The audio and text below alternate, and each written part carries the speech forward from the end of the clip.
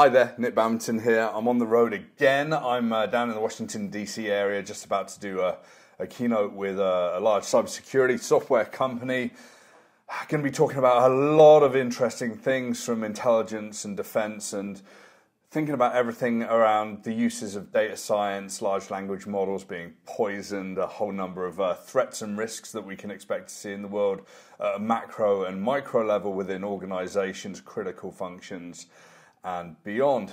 And the big question around this all is, you know, what's a critical system these days?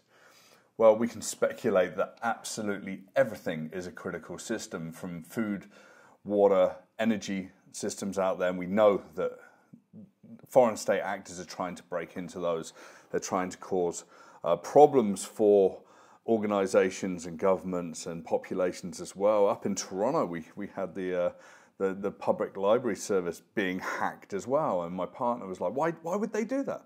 It's, the, uh, it's a war of attrition. It's an erosion of confidence and trust and, and comfort in life. And, ah, you know, we got to have solutions.